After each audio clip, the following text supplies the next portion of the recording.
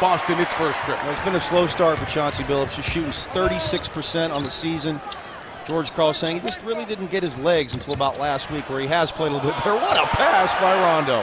Well, the assist king starts with a beauty for a Ray Allen three. Rajon Rondo leading the NBA. They've hit their one free throw, and Rajon Rondo is going to have a big assist night. Well, number one will be hard to top on the top 10 Rondo list.